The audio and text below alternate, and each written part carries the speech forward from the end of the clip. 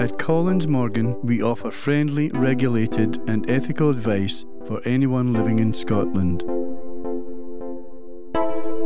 Over the last six years, we have helped thousands of Scottish residents become debt free.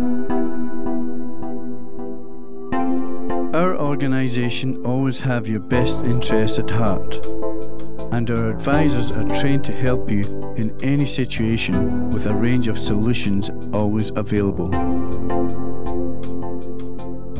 If you're struggling with debts, act now and call one of our friendly advisors on 0141 218 4450.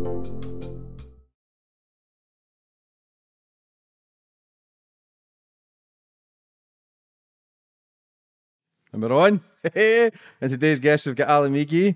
First of all, Alan, I just want to say thanks for coming on the show and taking the time to actually meet us. Thank you. You're a legend in the music industry. Oasis, Primal Scream, what massive names. It's uh, it's good to have you on, mate. How's Thank things you. been? Yeah, good. Yeah, just like really good. It's Sunday morning, 10 o'clock in the morning. Interesting time. In London, Harley Street. We're doing all right, Alan.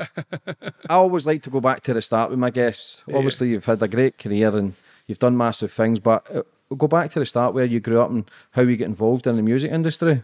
Well, I, I was a I was born in Govan Hill, and at five year old, I came up to uh, Mount Florida, and uh, I went to Mount Florida primary, and that was pretty good. It was actually all right, and then I ended up uh, I went to Kings Park Secondary School. I was just dreadfully, uh, you know, just, I hated school. Do you know what I mean? I was just like, you know, I, I didn't take to it, and uh, I suppose I got my problem with authority and everything, you know, at that school. You know, I mean, it was just like, you know, I just, I, I, I mean, not a huge deal, but I just, I just really disliked getting told what to do. And uh, I left school with one O level, which was a, which was a arithmetic. I got a C, but I never, I never tried. I never, I never done anything. And then I ended up having a load of shit jobs. Uh, I worked in a building site. Uh, I made collars in a factory. Do you know what I mean? Um, you know, I, I had about three or four really crap jobs, and then I, um, I, I eventually, I- you know, I, I got a British Rail job. You know, issuing bolts, and which was basically it's a job for nothing. But I used to get seventy five pound a week. Was a kid, I was 16, 17. and uh, and I done that for a couple of years before I came to London. And that's when, because people see the glitz and the glam life, and it is a great life down in London, but it is fucking crazy. Well, it wasn't well. it wasn't glamorous for me for a long, long time. Do you know what I mean? I don't think it's ever really been that glamorous. But but uh, I came down to London when I was like nineteen, and uh, and I was homeless essentially. You know, I would have been like the reason there's so many homeless people. You, and me are both involved in homeless stuff. Um, but when I when I came down, I, I came off a train, had like literally five quid in my pocket. But I, I squatted for six months, James, and now nobody's allowed to squat because they basically arrest you if you squat. But that the whole houseless, the homeless problem at the moment, uh, there's about somewhat three hundred thousand people homeless. It would be eradicated if you could if you could squat because that's what it was. The seventies and eighties squatting culture. The Clash came out of squatting culture, which was Joe Strummer was squatting. Um, you know, and like me and Andrew Innes, that's the guy in the primals. We came out of squatting culture because we both squatted. Yeah, it's crazy because there's millions of empty flats everywhere. There's Oh, there millions of empty units. Loads of people buy them as investments and don't live in them. Yeah. don't even live here. They are empty, and it'd be a good Yeah. idea for anybody that's got properties Yeah. that are lying empty. Just open them up, let homeless Yeah. people sleep in it. Especially the winter time. The numbers of the deaths on the street for homelessness is shocking. I remember there was like this winter's been nothing, but the winter last year, I remember like it was, it was something like about minus twelve or something like that when we were in London, and it's like I saw somebody underneath the arches in the embankment, and uh, and you know, like, you know, obviously they're no right, you know, I mean, they're just like well, a little Mm-hmm. blanket, and you're just thinking, you know, you should be somewhere warmer, but you know, they're they're, they're not in the zone of trying to look after Yeah, themselves. it's heartbreaking. You know what I mean? When you first came down to London, what was your plans then? When you had a fiver, what were you? I think I just wanted to be a pop star. It was basic shit, man. You know, I mean, I, when I got to about 22, I realised I wasn't very good at playing the bass.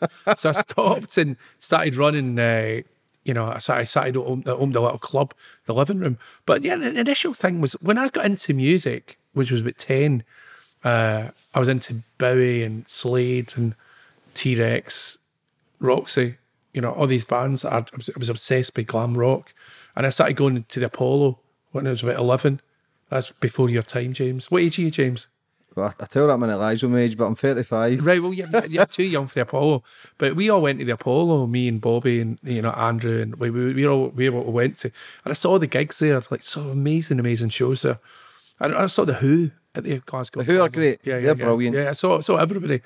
And then, uh, you know, I, I, I got the love of music, got a bass, got, got into punk. Uh, you know, I had little punk bands. I then ended, ended up in a Glasgow band for a while, just before I came to London, H2O, who only had, had, had a big hit. Uh, and, I- and I moved to London with Andrew. And then we were just, we, we got there. And how we got the squat was there was a girl with pink hair in Clapham. And we went, can you, you know, like, do you know anywhere you can stay? And she went, oh, you can stay at mine. You know, we were like, and, and she was just a punk girl that just, you know, let us into a squat. And that was really the big break for us, was actually getting somewhere we could sleep. Because then we thought, well, we're not going back. Do you know what I mean? It's scary to think that if you never met that girl, you could potentially have been homeless and Yeah. But, but to be fair, we would have found something, right? yeah, but, survivors. but- That's the Glasgow mentality. But, but, I mean, we got lucky really early. Like the first, within 10 days, we had a squat. because you're best friends with Bobby Gillespie. Yeah, I grew up with So was you at school together, you and Bobby? Yeah, yeah, yeah. We were right, went to King's Park School t- with each other. But supposedly, I was reading something the other day on some sort of internet forum that we're like the two most famous people to come out of King's Park Secondary, which is funny in itself because it's like, do you know what? We hated school. I uh-huh. absolutely detested school. You know what I mean? And I think that goes for anybody watching that. Just because your standard grades or your A levels or whatever it is, you don't need to have the best to have a successful career. You don't need to be the think- smartest in the school to have the biggest and I best think, career. James, for my generation, that's 100% true. I don't know for the younger generation, dude. I think maybe you do. But I mean, but for but for our for, for our we didn't have a choice. I mean, we, we came out with one O level. We there was no expectancy on me or him. He was like a he was in a worked in a printing factory and I started working in a collar factory, you know, bringing a machine down and making collars. And uh, there was we were factory fodder, working class kids when we were just factory fodder. But what we did both have is this love of rock and roll, love of punk. And uh, when we got the chance, do you know what I mean? We we both we you know we both done it. And uh, the great thing with Bob is uh, you know, he used to design my sleeves. And uh, when I first started the label, so he'd design the sleeves and and do the sleeves. Do you know what I mean? You know, Do you think if you weren't as friends, do you think being each other's best friends helped both your careers strive? yeah, And big hit the time, peaks. Uh, big time. Because it was like you know, because there was a lot of times that you know we just trusted each other. You know, we, we, we because we grew up with each other, we were never going to. You know, fuck each other over. Do you know Mm. what I mean? You know, so it was like it was an intense friendship. Do you know what I mean? Uh, The, the downside of that, years later, do you know what I mean? You know, we hated each other's guts for five years, so it's kind of like an intense. We're kind of more like brothers and mates. Do you know what I mean? You know, we're kind of like he annoys me, I annoy him, but we love each other. But that's the sign of good friends is Yeah, yeah, people. yeah, yeah. I think we live in a softened generation where people can't take a Yeah. fucking joke. People can't take Yeah. anything serious, and then before you know it, Yeah. they take the huff. Yeah. I think if you don't speak to somebody for five years, but even at that stage, you'd have probably thought about him every day. It's probably just stubbornness. Yeah. Who's going to phone who first? Who? How did you end up speaking to again uh, together after the five year? I it's a bit of a celebrity story, but I'll tell you. I I was a it was a how did it start? It was a petty fucking argument, man.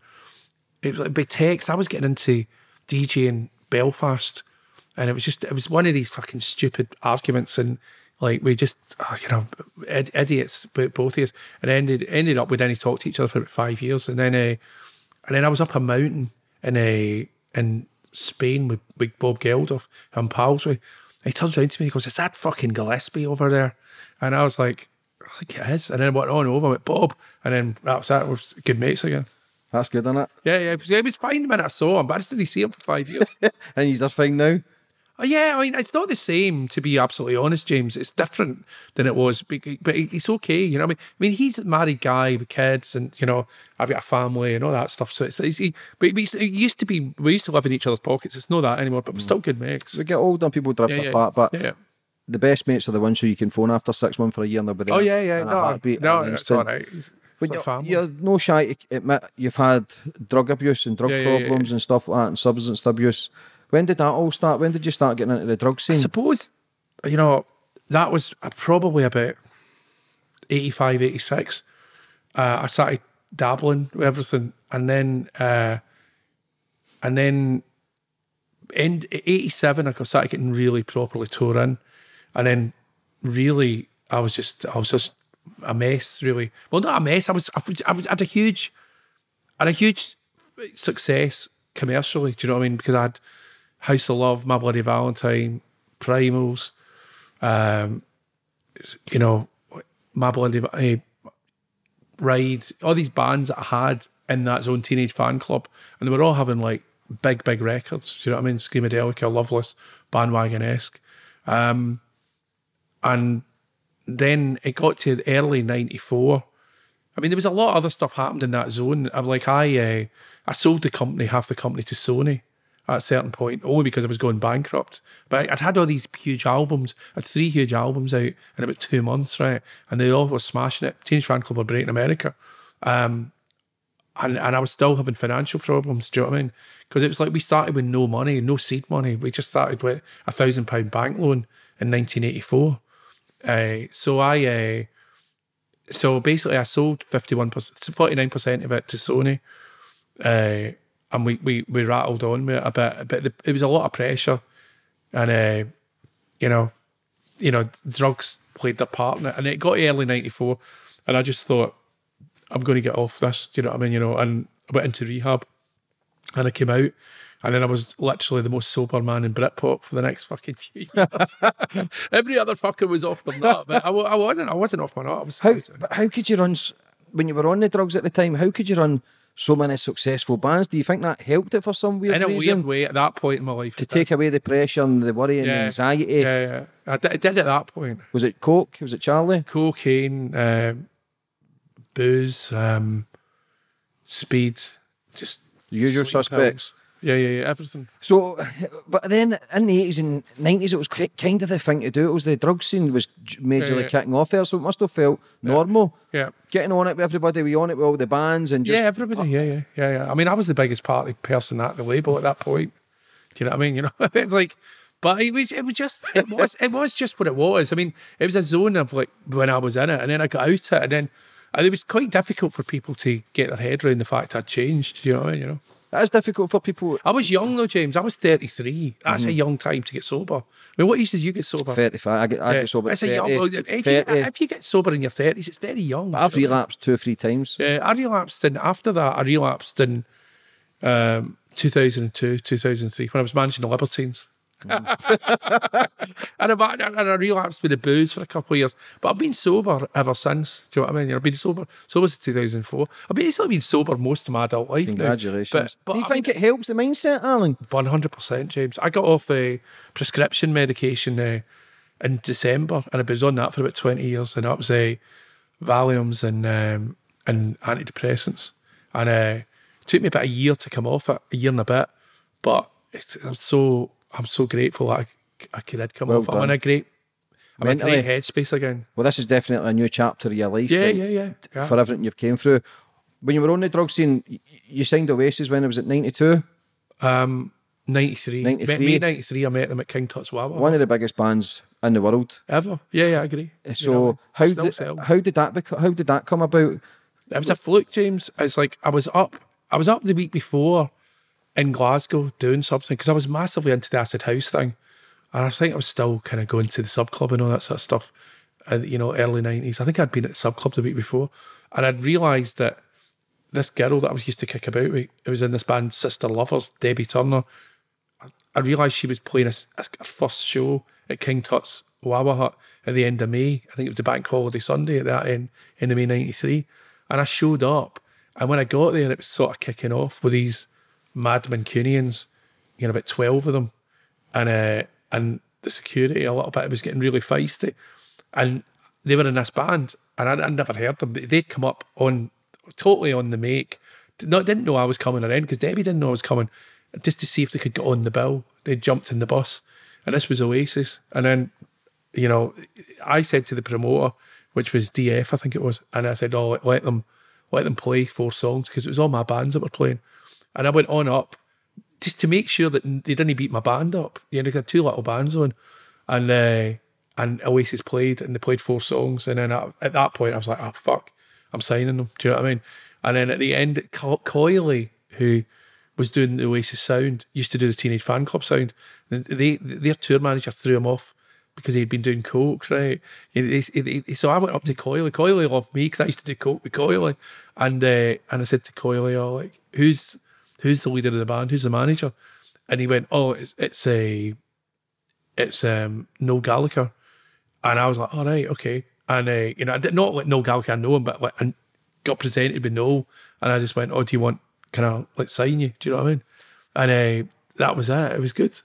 Because they were threatening to, were they threatening to smash up the place? They were, it was, it was, they didn't, If they they never didn't, played. They didn't say it. It was by inference. Do you know what I mean? But they, they, they, they, it would have been quite hard for the security to deal with because there was about two security and 12 manx. You know what I mean? because there was was a It was under- easier to let them play, to be Yeah, honest. Do you know I was I mean? at, was a U2 who U2 uh, YouTube two management try to sign them and double their yeah, salary. yeah, yeah. It was a guy called uh, Malcolm at their record company, U2's record company, tried to double or treble the, the advance, and Andy McDonald at Go! Discs tried to sign him. But to be fair, Oasis were always like that. No, Noel Gallagher in particular, very loyal. Do you know what I mean? Yeah, a, a massive band. Do you think if you never signed them, your career would be as it was? But No, already I mean, signed I big mean- bands. No, I'd, I'd done good up to that point. I'd done good as kind of, I'd, I'd done as well as anybody else was doing, if you know what I'm trying to say. Mm-hmm.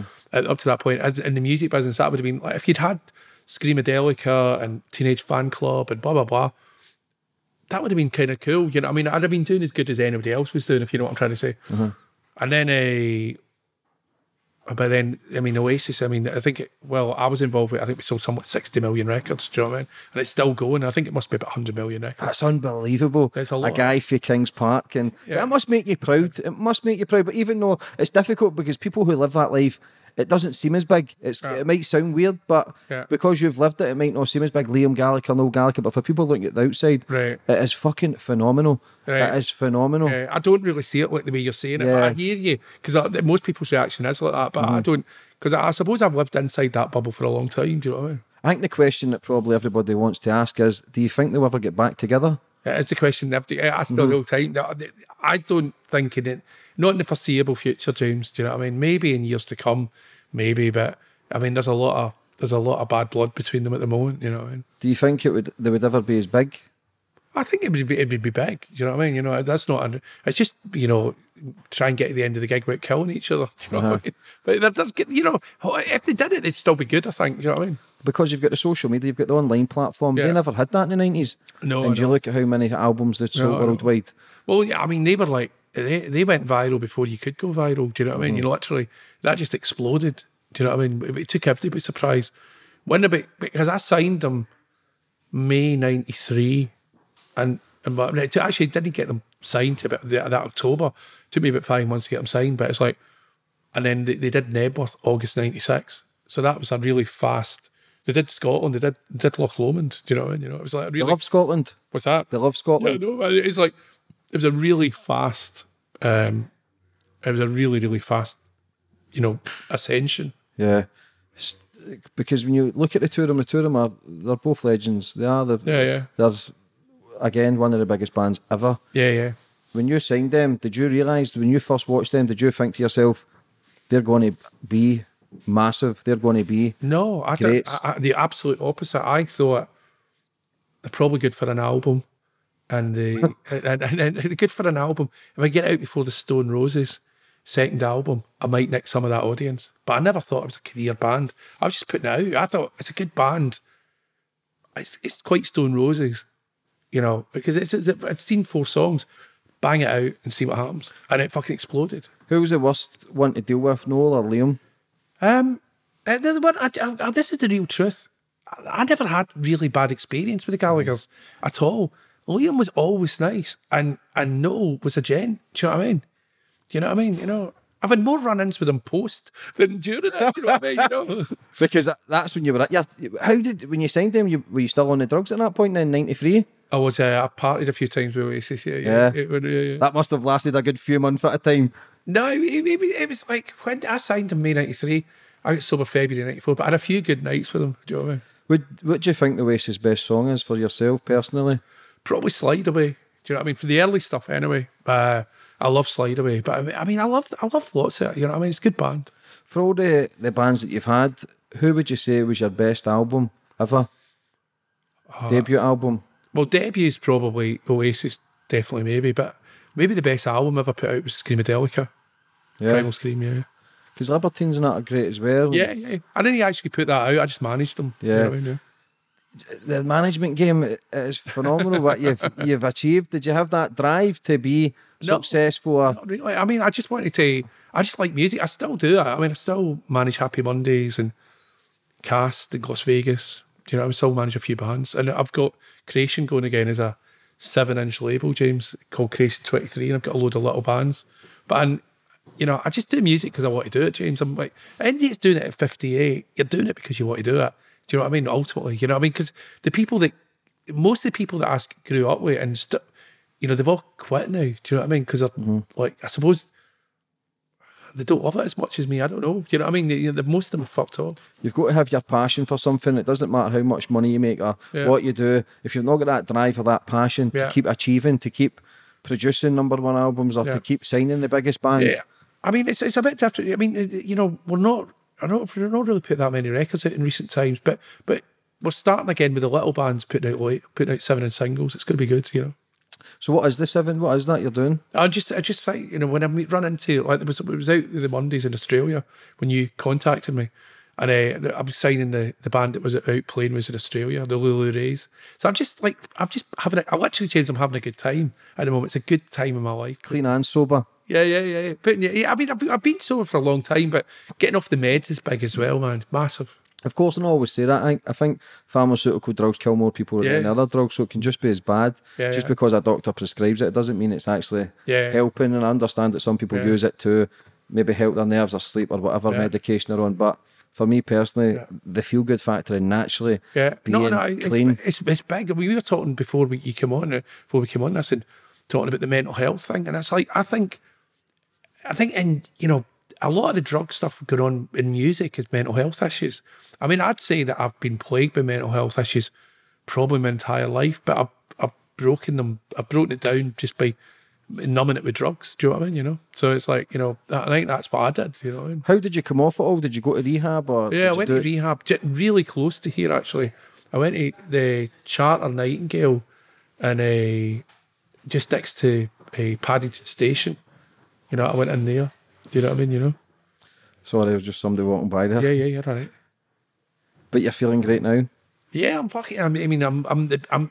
You know, it's weird coming off like even because you don't really think about it. You just think it's meds, but coming off the, the this prescription drugs, it's like you could feel yourself, you know, really booming, and you're like, all right, I, I, this is what normality is. Energy. I, haven't seen this space in my head for, For a while. long Do you know time. what I mean? Because it's trying to quieten the demons down. It's trying to Yeah. quieten everything down in the mind, whether Yeah. it's whatever we're thinking about. And we Yeah. spoke about it earlier about the the, the, the addictions. Yeah. It it does. We, we take drugs to sh- try and shut it up in here, whatever agree. the fuck we're overthinking. And I think with me, it was definitely, definitely that. You know, with we, you know, when I was on coke and booze and all that, and then like it's, it's been different times that I've, I've definitely used it to nullify myself. Do you know what I mean? Yeah. yeah, it's difficult. And but you've done it.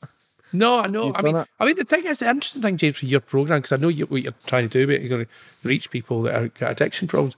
Oh, yeah, I've, I've, I've been a drug addict. I've been a recovering drug addict. I've been an alcoholic, and all these different things. That, and I've still had success. Do you know what I mean? And it's you know you can't if you put your mind to it, you can do whatever you need to do. But it's a lot. The only thing I'd say is a lot easier to do it sober. Yeah, uh, yeah, definitely. I wouldn't Yeah. said. I mean, uh, it's a bit like today, meeting you today and getting here 20 to 10 ready for you. It's like, you know, I mean, I'd, the old me would have been like, yeah, I'll show up some point. You know what I mean? It's Still out. You know I mean? Still out. Yeah, I know. I think it's um, it is. It's, it's definitely. It's a, no better feeling than being clean and sober, but not necessarily because you're clean and sober. Yeah. Every day's a great day. We still have our moments. I still battle every fucking day, yeah. whatever problem or Yeah. addiction I have. I still think about gambling. I still think about the drugs. yeah. And Big Mark, who's gave us his place in Harley Street today, yeah, yeah. speaks about it when he tells his story. But we're laughing. We kind of Yeah. get excited Yeah. because we know how fucked up and crazy it was. And sometimes everything does quiet down. It, but again, it's to stay in the right path and do big things. Do you think now that if you signed a band who are mad on the drugs, you would try and guide them more and try and It's difficult. I mean, I had libertines and they were let off their nut. Do you know what I mean? You know, um, and you know, I don't think you know, I didn't get them sober. Let me put it that way. You know what I mean?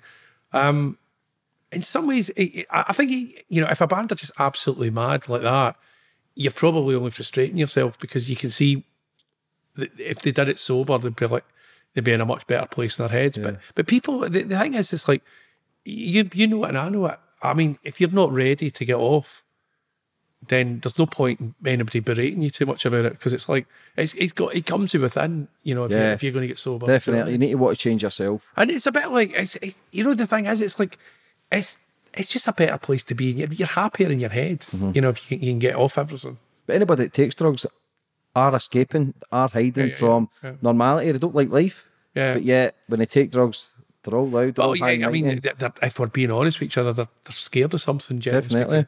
Do you know what I mean? It's like they're hiding because they're scared. yeah. you know what I totally agree. And all the biggest, baddest men out there who sit Yeah. at parties and they, Yeah. they think it's great. It ain't great because We've all done it. Yeah. We've, I mean, I, mean, I- I've totally done it. But it's like, but ultimately, you're scared of something. That's really what you're hiding from. Mm-hmm. normality. Yeah, Yeah. definitely. Listen, there was Fuck normality. Would they, what would you class as a good manager then, or a, a good record label? How would? You, because there doesn't seem to be a lot of a lot of people seem to fall out a lot more now. yeah. There's not doesn't seem to be a lot more loyalty in the industry. Yeah. How do you? How would you say? I think Makes just, a be, good just understand the group, try and try and facilitate what the group are trying to do. Um, and you, you know, you can add your own experience, and you can, you know, if you understand the game, then you can you can make it wider for them. Do you know what I mean? Definitely, but for you, you've you ran one of the biggest le- record labels in Yeah. United Kingdom. I was, I was mad. I got a really good run of the green. I think a lot of it though with James was I came along at the right time. Do you know what I mean? And I got there was a few lucky breaks. I got. Do you know what I mean? My best friend was Bobby Gillespie, who was like a fucking great music guy that had success with his band, which trained me up mm-hmm. To sign Oasis and deal with that. And I had six, seven years with Oasis. You know that I was like, you know, when it when it was like really like you know it was really intense in that that that nineties period. Um, so you know, I got kind of I got lucky a couple. yeah, but. I believe you make your own luck because you've got to roll the dice. Yeah, You yeah. miss hundred percent of the shots you don't Yeah. take, and I know it's such a cheesy line. It's probably been seen and said everywhere. But Yeah. if you never went to King Tut's, if you never Oh no, I know you've got. spoke to these places, you've got to open the doors. And you coming here today opens more doors for me because fuck's sake, Alan McGee's Yeah. on that show. That's and Well, you've got to be in it to win it. exactly. You know, I and- mean, it's like you know. The fact is, in 1993, when I went into that place, I was probably the only person mad enough in the music business to be in Glasgow on a bank holiday Sunday night, going to a show to see the fourth band on the bill, mm-hmm. even though it was by a, it was a fluke. So you make you do make your own luck to a certain extent.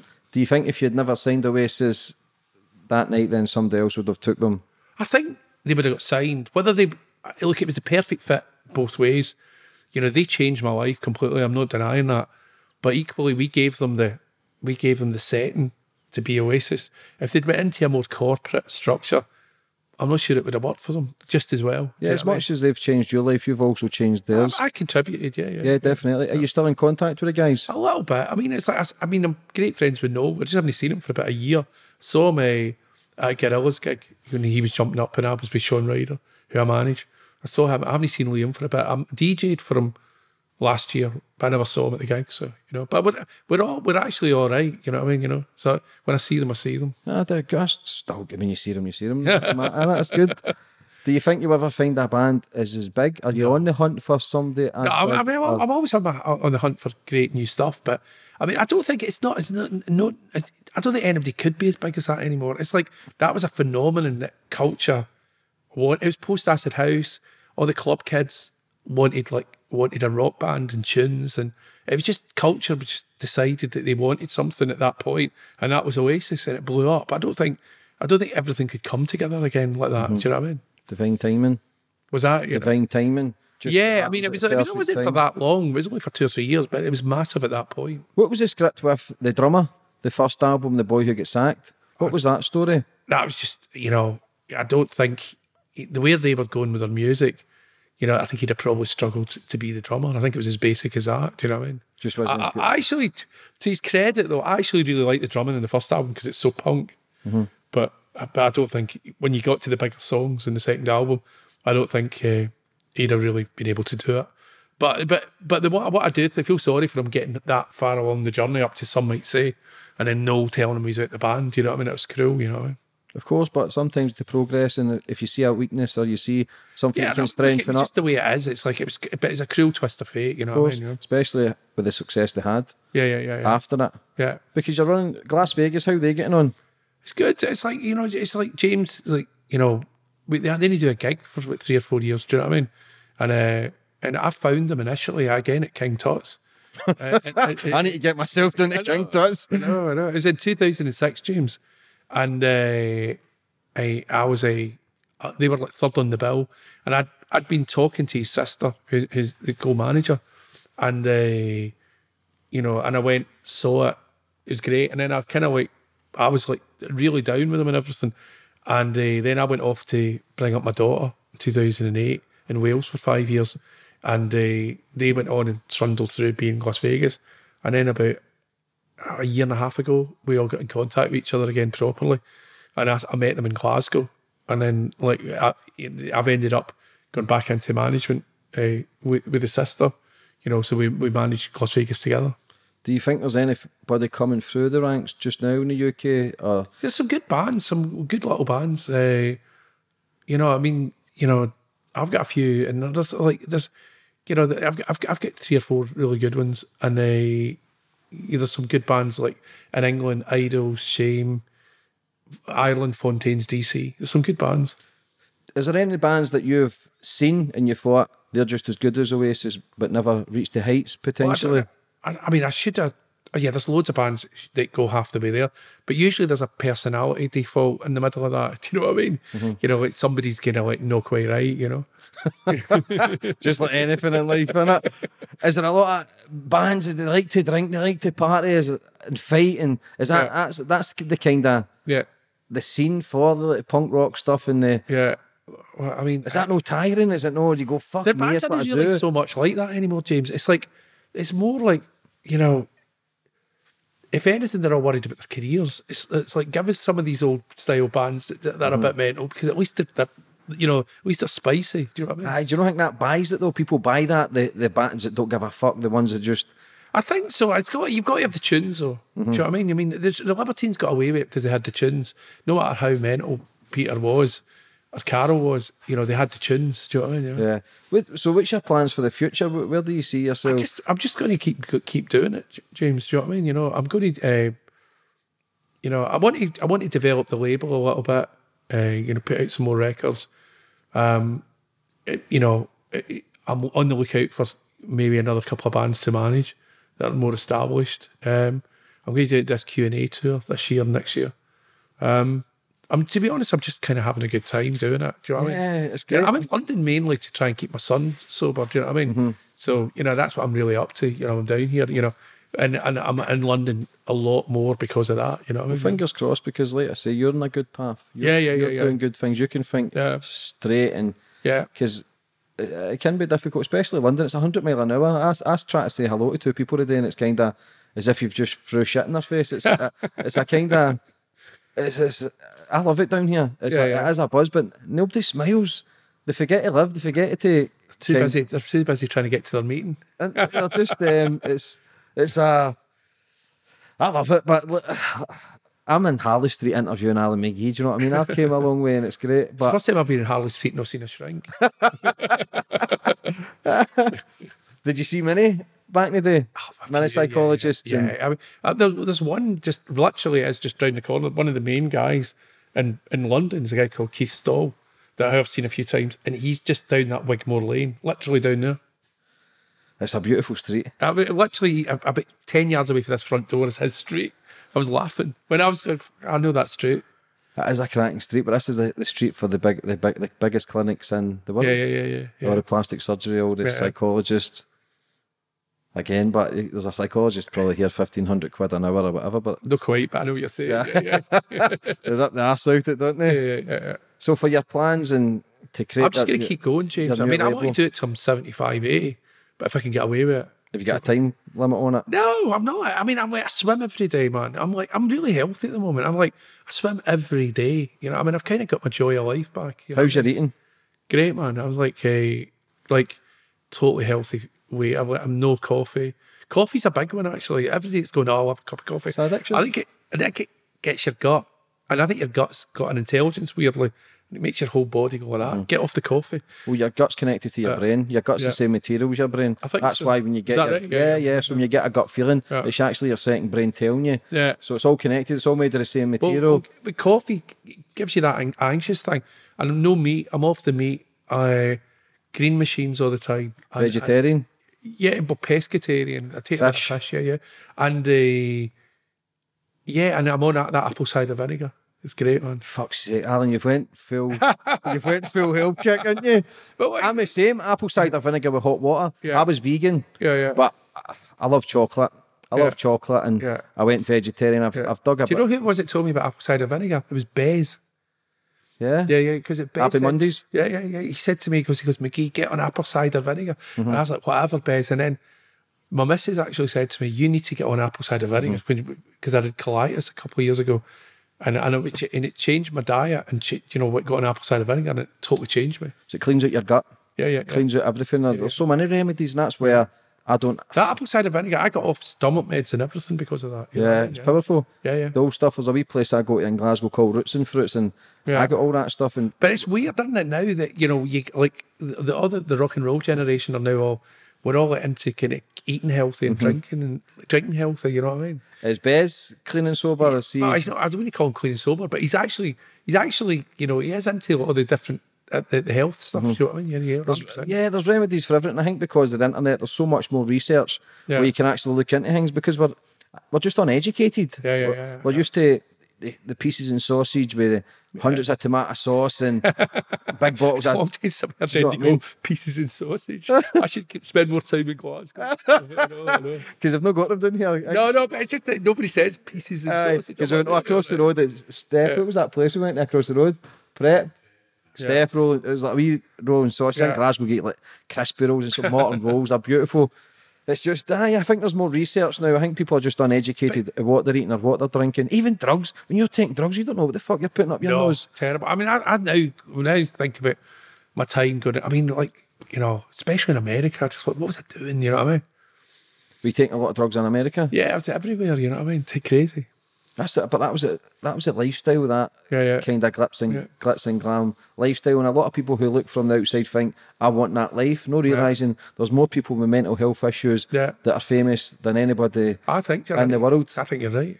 Because And in, and in a way, people, you know, you can now tell when people are having issues. Do you know what I mean? You know, it's like, you know, because people are calling it what it is. Do you know what I mean? You know, Yeah. When people are having meltdowns, it's like, it's not because they're a diva, because they're no right. Do you know what I mean? You know? yeah, because fame is an illusion. It doesn't Yeah, really yeah. exist. Yeah, It's a useless currency. Yeah, dude, you know people what I mean? say, "Oh, he's looking for fame or he's doing this." Fame doesn't mean fuck all. But I think when people are on a pedestal and people are, are craving their attention, once people don't crave their attention as much, they start thinking their life's inadequate. They don't feel as important, and that's when they either dabble on drink or drugs to feel important again. Because you look at girls like Amy Winehouse, what a talent! Yeah, what a, yeah, what crazy. absolute great talent, and You'll see a lot But. I've had some of my pals, also like, you know, like Robert Young, Throb and Primal Scream, died at 49. I mean, loads of people like that have just went, you know what I mean? Mm-hmm. You know, biggest party guy in our whole thing, our whole, you know, our whole um, scene coming through to London and everything like that, and, you know, ended up dying, you know what I mean? Has anybody ever tried to come out and speak out about like the the, the band kind of scene and the, the like because it was socially acceptable to go to hotels, smash them up. But you know what, James, it's bigger than that. It's like I remember the first time you get when you're a little guy in a band or a manager in a band. When when I was managing the Mary Chain when I was like 23, we we we got we blew up, and I was the manager. And you'd go into like Nottingham Rock City, and you'd open the fridge and there'd be 50 beers, and you're 23 and it's all for free. You're like, are they free? Did you pay for them? Do you know what I mean? And, and like, so the culture is take what you want. You've travelled the world. Where's the best place you've been to? Where's the best place that you you love and the best Yeah. people that ha- you've had a good band and the, the, the fans are great and Um, I don't know, mate. It's like I, I mean, I just been to Australia last last week. Uh, that was great. I was, that was a sold out Happy Mondays tour in Australia. That was great. Maybe Japan, man. I love Japan. I'm going there in about three weeks' time to DJ. So what you do? What kind of stuff do you DJ? I never. I just, I just whatever, whatever. Really, for that thing, it'll be kind of dancey. Be much more, more like an old acid house set, acid house kind of set for the nineties. But it's like a late eighties. But you know, I mean, it depends who's booking us. Do you know what I mean? If it's a load of fucking Britpop kids, I'll I'll I'll play. You know what I'll play? I'll, I'll play Oasis, the Yeah, yeah. The Beatles. You know what I mean? You know. How has your style of music changed as you've got older? Have you? The, how does it No, progress? Are they no, still? because, uh, because I'm still turned on by the same music. I'm still turned on by glam and punk. That's what I'm into. Mm-hmm. Does, do you think there's anybody coming through the ranks again? I've, I know I've asked the question in the UK, but worldwide, is there anybody that sticks out for you? Yeah, that that's good. Just good new bands. It's like you just, you know, you can never, you just got to keep aware because you can never tell who's going to be great. I remember when I first heard Nirvana, and I was like, you know, I mean, you know, you know, and they were fully formed. I was like, how did I not hear this before? Do you know? What I mean? yeah, yeah, it's crazy, isn't it? Yeah. The way we think, and everybody's different. It's, I mean, when But that was a great time for, for music, James. The nineties was just it's so many great bands. You know, like the obvious ones are like Nirvana and Oasis, but it's like, but it, it, there's so many great bands for the nineties. You know what I mean? You know? oh, aye, eighties, nineties, Yeah, Queen. eighties, eighties was great. What- Who would you say was the big? Take away Oasis. Who would you say was the biggest band of all time? Um, well, they're not the biggest band of all time, but they're big. Yeah, yeah. Oh, for me,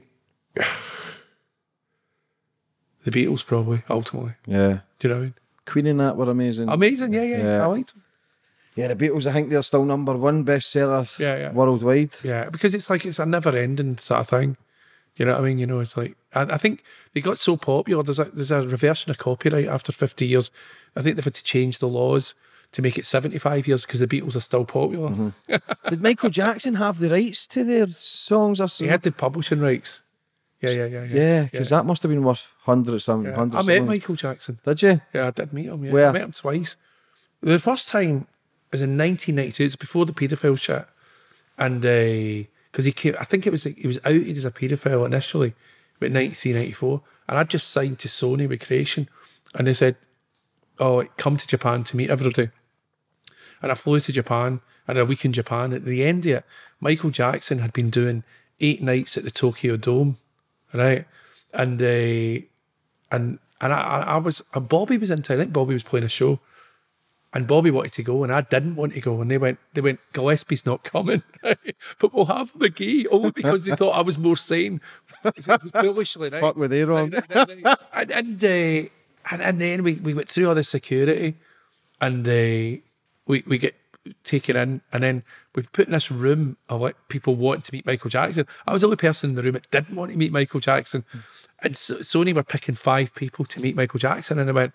Alan McGee, Creation Records. and I, I went through, I mean, he's really tall, Michael Jackson, and it was like a photo opportunity. And they never sent me the photo, right? And uh, you had to announce yourself to Michael Jackson. And, I went, and when I get nervous, I get really Scottish, right? And I went, Oh, Mickey Creation Record. And I'm like, Michael Jackson's looking at you, fucking freak. You know, you know, that- that- and, and I got, I met him that time. And then, uh, just for a photo. And then uh, the next time I met him was about 96. And uh, I was getting on Concorde. And uh, I- there was a guy, a, a really high up British British Airways kind of guy, went, "Are you with Michael?" And this was something early, early uh, January '97, I think it was. And we went, "Yeah, we're just taking the piss, me and my pal." And we went on up the back, and it was this is when I kind of knew he was a paedophile, though. Right? There was um, there was Michael Jackson. About there was four security, two security, two or three security, I think a manager guy, I think, or a tour manager guy, Michael Jackson, and about a 14 or a 15 year old guy dressed as Michael Jackson on Concorde. And I was like, that's fucking weird. Do you know what I mean? Because who, who travels with one of their fans dressed mm-hmm. up as them? And you had to go at that point, that's not right. Do you know what I mean? It's no right. I think he's. There's never any smoke without fire. Yeah, that's Michael- what I think. At you know that what I mean? point, I've always And it- sort of known Yeah. he's no right. Well, in the back of your mind, but then you look at guys like Jimmy Savile who Yeah. they've just got a question mark. You're just looking at them, they've got a question mark, but they were Yeah. loved, and it's hard because he's never had a conviction, Michael Jackson, and he's not here to fight his case. Yeah, yeah, so yeah, it's difficult. Yeah, yeah. But I No, do, it's interesting, all the stuff that's just yeah, it's all this stuff there, but there's again there isn't any smoke without fire. But for me, uh, I think he was young himself, and apparently he was castrated. That they, like, um, they basically took his balls away so he could keep his. This is the stories that are going about so he could keep his voice so young. Is that So he never really fully matured, right, right, and I right. think I get it's such a touchy subject that it's so mixed. But again, that industry, that industry is it is rife Yeah. with it, and yeah, it's sad to think that because he's he was the biggest he was the biggest artist out of them all. Yeah. He was the But I mean- biggest I mean, entertainer. all I know, James, is I, I actually met him a couple of times. The second time I met him, he was a 15 year old, 14 year old boy dressed. Yeah, how how was he when you met him? Like, Was it weird then? he- we we didn't really say anything to him. We just we just kind of looked at us and we looked at him. Do you know what I mean? But we, we were just thinking, you know, me and my pal Ed Ball, we were just thinking, fucking weird guy, man. I mean, That's- who, who yeah. would fly about with a uh-huh. 14, 15 year old version? of It's the yeah, it's the fact Maybe a guy that was into that would, but I mean, weird. But we were like, that's too weird. but it's a bit blatant and it's a bit out there. Well, he was in. I think it was in the sun. Like I think it was something like the mirror of the sun. The day, eh, like Michael Jackson with. It didn't. They didn't even say he was with a young boy. It was just like it was going through the through the the airport at Heathrow. I think we landed. Mm-hmm. You know I mean? You know? Yeah, it's a it's a touchy subject and it's hard to think, but again, it's Yeah. it's just one of those fucking things that people are are kind of mad in that industry that people do go kind of nuts. Yeah. yeah. Do you know what I mean? It's Yeah. was there anybody you've met? Like, you've met a lot of A-listers in your time. Yeah, was there anybody you were starstruck with or want really want to meet? Yeah, one time I was in the dressing room.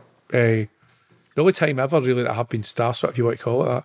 I don't know what to say. It was uh, I was in it was in Glasgow again. It was in the SEC, and a Teenage Fanclub supporting Neil Young.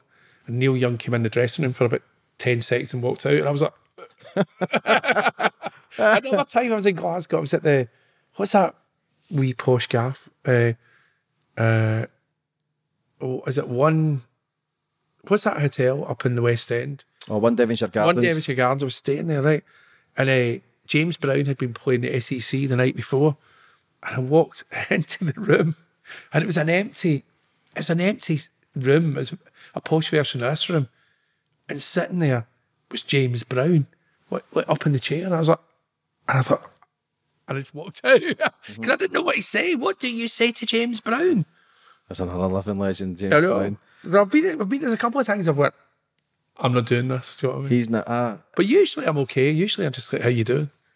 the American. Why is the American stars so big over there? Like your James Browns, your Marvin Gaye's. Back in the day, the the stardom that they had was I don't know. man. It just- because America's so big as well. yeah, just as you know, I suppose once you get to that level, it's you know you don't fall down. So it's a bit. Mm-hmm. Do you know what I mean? They're up there. Like your Stevie Wonders, they're, they're Yeah, massive, brilliant, massive brilliant. Yeah, yeah. guests. Was there anybody from the UK that went to America and never cracked it that you thought should have cracked it?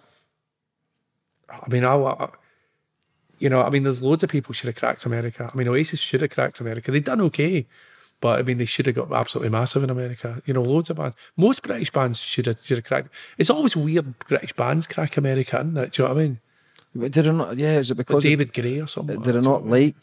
Why, why is that? Did it not like the the personalities or the music? I think what is it is, I mean, the old school America, I'm not so sure anymore if it's like this, but the old the British bands were too, they were too outspoken, really, generally Mm-hmm. speaking, for America. They don't, they they don't really want anybody with their own opinion. Do you know what I mean? You know? the Americans don't really act like that. They don't really, uh, do they? Like, Yeah, but I mean, it's it's. I mean, you go to see Bruce Springsteen and, and you know, in like New Jersey, and there's like he's in an, arena. He's he's doing five nights at an arena in New Jersey, and there's not one black person there. Do you know what I mean? It's a weird country. Do you know what I mean? It's all everybody's like white and about forty year old. Do you know what I mean? You know? yeah, it's so big.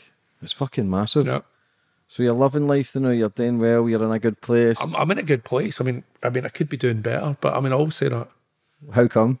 I know. I just like doing things. Do you know what I mean? Do you, do you like to keep busy? Yeah, yeah. Is that to quiet, keep the mind at bay? No, I think it's just I just I'm addicted to doing shit. Did you ever goal set or anything or plan No, what you were no, going to do? I, or, I, just get on with it and done it and done it. And just- I was thinking about this recently when I was a kid, before I got got a break in the music business, maybe 22, because I, I got and it got started to happen at 23 because I managed the Mary Chain. We blew up, and then I was in like California playing 4,000 people managing the band. It was like mad. But I, mean, I suppose when 21, 22, I used to think it'll be my year next year. Do you know what I mean? So I suppose I was a wee bit like that. And then when it happened, you just get into it. Only fools and horses this time next year. Yeah, yeah, millionaire. But I think, yeah, but I think I was a bit like that when I was a kid. Do you know what I mean? But you've done it. Yeah, you've, you've I fucking right. done it. You've, Yeah, yeah. you've not done all right, man. You've done it for, for Kings Park to Harley Street. Is there any bands you would have loved to have got that you you think I could have took them even further than? Well, I mean, I don't know What if they I were? could have taken them further. Who knows? But I'd love to have worked with Stone Roses, one of my favourite bands. Do you know what I mean? Um, but yeah, I mean, a lot of the punk bands, I was just a bit young for it. Do you know what I mean? Really, you know what I mean? I was, was like the time I got there, they, they were they were kind of on the descent. Uh, but I mean, I love a lot of that punk stuff. I love, I love, you know, I'll, I'll you know, I just love all the main bands. You're very well liked, but Alan, does that that must help in industry though? Was that sort You're very well liked. right? You're very well respected. Right. Uh, So if you're trying to open doors for people, then yeah. people will give you that. Yeah, I mean, I, I get on all right with people. You know what I mean? You know, like, luckily I've not pissed too many people. Yeah. but I've got, there's a few people out there, James. It's not that hard to find. There's still time I'm actually related to most of them. because your management skills, though, they must be, they must be second to none. Even though you might not think it, Yeah, the, you must have something to Yeah. to have created all those Yeah. bands, to created hundreds and millions of albums Yeah. sold. I know when to shut the fuck up. Do you know Yeah. what I mean? And a lot of people don't know when to shut the fuck I don't. up. I don't. We could be sitting here all day Half, half of it's that. Half it's just shut, shut up at the right point. and listen. Yeah. Do you know what I mean? Have you got a lot of family back in Glasgow? Yeah, I've got a few. Yeah, yeah, yeah, yeah, yeah. I've got sisters and everything. Yeah, they're good. Yeah. Well, my sister Susan watches you. Yeah, Yeah, yeah, yeah. yeah. I love that because I messaged you and you were actually going to message Yeah, me. I was. I was. Well, that was great because I was watched. I watched the Paul Ferris one, the Joe Steele one. I watched Kyle the for the View one. Uh, I watched. I think I watched another one, and I thought I, I, I should contact James. I nearly done it before I went to Australia. Then I was in Sydney Harbour, walking around on a day off at Sydney Harbour, and it was like, Alan, I've run a podcast, and I came back immediately. I went, I know. and I was like, "Ah, Steph, Alan McGee's been watching your podcast," and then we've come down to London, and and Yeah. here we are. It's unbelievable. I've got questions All right, mate. for the fans. We've got three questions. We've got one from Sean Bryce. Your best, I think I've actually stole the guy's fucking question. The best debut album from any band you signed. Probably Oasis. Definitely, maybe. Uh, uh, let me just think. No, it's got to be that one as a debut. Yeah. I, I think it's the best album anyway. Great album. Yeah, yeah, yeah, yeah. Do you still listen to that stuff? Yeah, I mean, uh, you know, you know, occasionally, yeah, yeah, yeah. Does it bring back a lot of emotions when you hear it? No, only good ones. Do you know what I mean? You know, I, I was like a happy time ultimately. You know what I mean? What about like Wonderwall when they were writing that? Do you see when you listen to that for the Well, I first only time? heard it. I heard the very first time I ever heard that James was a was you know before it was just getting mixed. They, they recorded it with Owen Morris, and I, I got it, and it it was like, oh, this is amazing. Do you know what I mean? Yes, it's going to blow up, blow up. You know, I mean, because it was really commercial. Like, We're going to have it away. Mm-hmm. You know, but I didn't, didn't hear it before that. That's crazy. Um, we've got another question from Graham Bell. Was there a band you could have signed but never, only for them to become massive under another label? Well, uh, you like this, James? It's like it's like a. I was watching Chelsea, Crystal Palace, uh, with my pal Russell Warby, and uh, and he goes to me. It's about 1998, and he goes to me. You know, Dave Grohl really likes you, and I went, "All right, I like him, right?" And he went, he, he goes, he goes, he goes, he'd love to bring the Foo Fighters off EMI and onto Creation. And I secretly thought they're not cool enough, right? So I went, I'm not interested, and I should have done it. Do you know what I mean? Because I was so obsessed in the nineties with being fucking cool, and it's like I should have just went. They're going to, because it was it was it was kind of not that difficult to think they might become fucking massive, and they did. And they did. Do you know what I mean? So I should have signed them. We all have regrets sometimes, don't we? That's one of them. Uh, we've got another question from Reese Mullen. What do you think of the music industry today, particularly rock and indie, and its future? How do you see it? I think musically, the rock and indie thing's going through a slight resurgence now. You know, I think it's starting to re-establish itself. It'll probably in the next few years, a few bands will break out of that. But I think the music industry's changed so much. It's a digital music business now. Do you know what I mean? Look at this show here now. You get two cameras, one guy mm-hmm. doing it. You know, it's, it's just it's mm. it compacts the word for the music industry now, isn't it? Yeah, you but you've got there's a, there's more opportunities though. I think so, for people, yeah. and Yeah. There's more opportunities and more platforms to get yourself out there to get your music. You know, Yeah. you don't necessarily Yeah. necessarily need to have a manager now. A lot of people are doing their stuff online where they're getting millions and millions of hits, Yeah, which is crazy. yeah, yeah. Do you know how to work the social media kind of stuff? You a getting used I to mean, it? I'm not brilliant at it, but I mean, I mean, I'm probably, I'm probably better than it than I think. I mean, I've got about forty-two thousand people follow me Mm-hmm. on Instagram, so I probably do know what I'm doing, but I don't think I do. Do you get a lot of Um, a lot of Oasis questions all the time? Now I just get lots of mad people going, "Listen to this music." I'm all right. Do you get embarrassed or do you get kind of because my show's kicking off? It's no is as big as I want it to be, but I know how well when people stop me in the street and I get embarrassed and I see dick things like your show's doing great and I go, oh, I know. I feel like I, I get embarrassed. Did you Yeah. ever get embarrassed? But that's Yeah. just a, that's just a kind of thing about people like ourselves that have been through drug addiction and all that stuff that we're no good at taking. You're doing good, mm-hmm. and like because I don't I don't take compliments particularly well. Do you know what I mean? Because because I probably deep down don't have a huge self esteem. So when somebody goes, you're you're you- you're going, oh, you've done whatever. Mm-hmm. Nobody really, you know, most people don't really like it. Because when you were on your drugs and you were signing these bands, Yeah. when you signed Oasis, did you ever feel? I feel like sometimes I don't deserve it. Sometimes what I'm doing through homelessness or suicide or I was amazed. Created a show. I was actually more. of- I don't. I didn't think it, I don't deserve it. I was more thinking, "Fuck, how did that happen?" Do you know what I mean? Really? Mm. So I was like, "Fuck, I got that right." Because that- you don't really think you're going to do it. You, you, you, you go along doing it and you do the right things, but you know it's a crapshoot. Was it a whirlwind? Yeah, I mean the whole. But I mean, since I've come to London, it's been a whirlwind. But it's been the best move I've ever made. Do you know what I mean? Mm-hmm.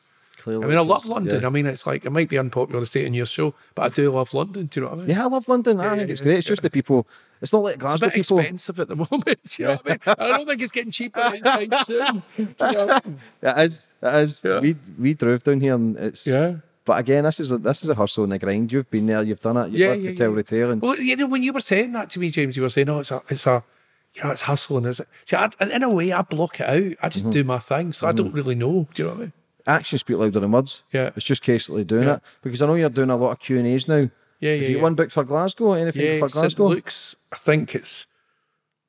I think it's the eleventh of April. Because people, when I, obviously when I said you were Yeah. coming on the show, everybody's jumped on the bandwagon asking their Yeah, yeah, questions yeah, and yeah.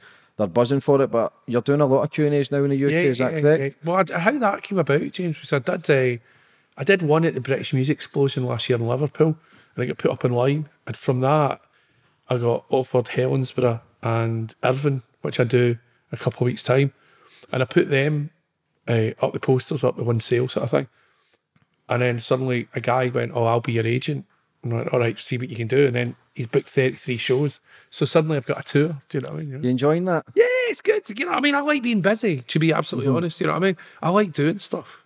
I love it. Yeah, yeah, And for coming on the show today, mate, is is great. And Hey, no, to, it's good. to giving me your time and yeah. Don't be daft. I'm, it's good. I'm grateful, mate. I am Yeah, truly grateful you. and Yeah. for telling your story, Alan. Yeah, It's been Cheers.